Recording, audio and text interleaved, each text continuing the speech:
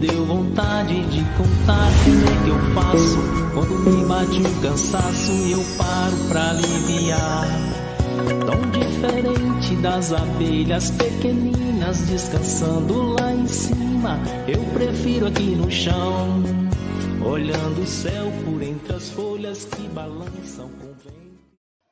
Olá, eu sou Adail, daqui do estado do Espírito Santo, e hoje eu quero falar com vocês sobre uma abelha muito especial, a mais bela, mais robusta e uma das mais produtivas do nosso bioma.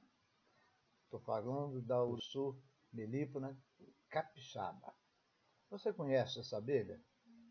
Ela é uma abelha endêmica das nossas matas ombrófilas capixabas. Faz parte do grupo das abelhas nativas do Brasil, da espécie dos meliponinhos, e possui o seu ferrão atrofiado, não oferecendo nenhum perigo no manejo, quer seja por adultos, crianças ou idosos como eu. Inclusive para os animais que possam estar perto da criação dessas abelhas. Na avaliação do ICNBio, ela está classificada na, na lista de espécies ameaçadas de extinção. Ela é uma das principais polinizadoras da Mata Atlântica, responsável, então, pela recuperação da flora natural desse importante bioma. Na natureza, ela se aloja em troncos de árvores geralmente vivas e grossas, principalmente das espécies de quaresmeira, caatinga de bode, capoeira branca, paraju, canela e até no, no chorão e murici vermelho já foi encontrada. A conexão entre o interno desses troncos com o forrageamento é feita por um pequeno furo, com estrias muito bem desenhadas, confeccionadas é, com a mistura de argilas e resinas que são coletadas no, no, no meio ambiente. Nessa entrada fica somente uma abelha, que a gente chama de vigia, que só permite a entrada de, de indivíduos da sua própria colônia. Ela é altamente produtiva, pode chegar a uma produção de 4, 5 litros de mel em uma única temporada de florada boa com tranquilidade. Dentro da colônia, uma só rainha, do tamanho de duas a três vezes maior do que a abelha comum, após copulada por apenas um zangão, tem a sua principal função que é gerar os filhos, podendo botar até 100 ovos por dia, colocando-os no favo de cria, confeccionado pelas operárias, que ali depositaram o alimento larval, que serve de alimento para essas larvas até a sua imersão. Num período de aproximadamente 52 dias, emergem as crias, fêmeas e machos. Dessas fêmeas, muitas terão a potencialidade de se tornar princesas e futuras rainhas.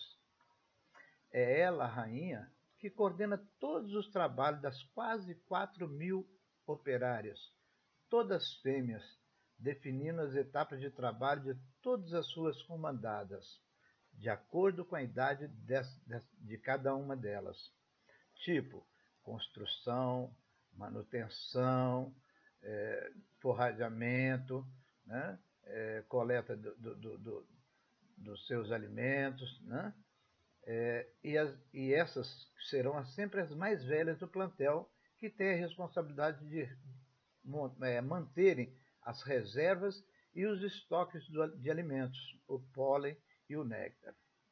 Neste trabalho de forrageamento efetuado pelas campeiras, além da coleta de recursos para os enxames, está um maior, dos maiores benefícios desses insetos, que é a polinização das plantas visitadas, garantindo, com isso, a biodiversidade e a geração de frutos e sementes de alta qualidade. O mel da Uruçu capixaba é muito valorizado, principalmente junto aos chefes de culinária, em função de ser mais fluido e ter uma pequena acidez maior do que os méis tradicionais. A criação dessa espécie de forma racional traz para seus criadores uma excelente opção de geração de renda, já que seu preço pode chegar até 10, 15 vezes mais do que o mel tradicional da Apis mellifera. Imagine isso para os pequenos produtores rurais que podem, assim, deixar de ser extrativistas e passar a usar de forma sustentável os recursos da natureza, contribuindo com isso e muito na preservação da nossa já tão combalida natureza. A vulnerabilidade dessa abelha está associada fortemente ao desmatamento da Mata Atlântica por ações antrópicas, pelo uso de inseticidas e, e agrotóxicos, né? e mais ainda pela ação daqueles que a gente chama de meleiros, pessoas que extraem da natureza esses enxames para a coleta de seu mel, por ser altamente valorizado, para comercialização. E outro também pelos que tiram da natureza esses enxames para venderem esses enxames até muitas vezes para o seu ambiente dele. Recentemente, e aí fazemos como uma denúncia. Alguns pseudos maus meliponicultores estão realizando a hibridação dessas abelhas com as melíponas escutelares, melíponas boca de renda e até com a melípona erbúrnea, e vendendo como se capixaba fosse, devido ao alto preço dessa abelha. É, a é, comprometendo com isso a genética e, consequentemente, o meio ambiente, já que ainda não há condições e estudos que se possa medir o impacto dessa ação na interação desses insetos com a flora e fauna, principalmente em ambientes diferentes da sua área de endemia. Por outro lado, aos meliponicultores, que criam dentro do seu ambiente natural e que não as comercializam, realizando um manejo consciente e racional, deixando inclusive parte de, desse plantel para enxamear e para a natureza, a esses nós temos que render nossas homenagens e agradecimentos, pois são esses que, o fazendo e destinando esse percentual para enxameação, estarão tirando-a do conceito atribuído pelo CNBio de vulnerabilidade. Esses criadores, a esses criadores, nosso muito obrigado por estarem fazendo sua parte para a preservação da nossa mais bela, robusta e uma das mais produtivas do nosso bioma. Vamos ganhar com essas abelhas? Vamos preservá-la. Você é responsável por um mundo melhor. Quero ainda dizer para vocês que, principalmente para esses que a gente considera maus meliponicultores, né, que repensem, repensem as suas atitudes. Imagine que você pode ser um preservador também ganhando em cima dessa abelha, ganhando com essa abelha, e não denegrindo a imagem de meliponicultor que tanta gente precisa preservar. Nós somos responsáveis. Você é responsável por essa atualização da, é, da, da, da lista de vulnerabilidade dessa abelha.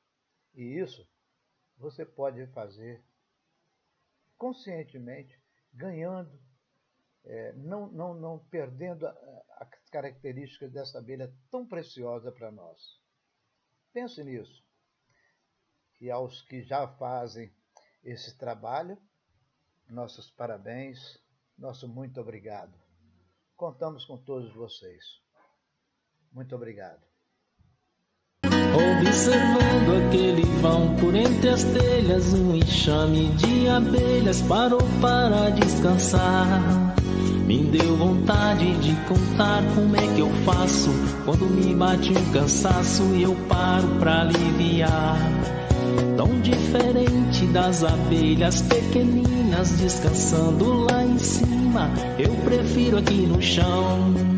Olhando o céu por entre as folhas que balançam, que dança,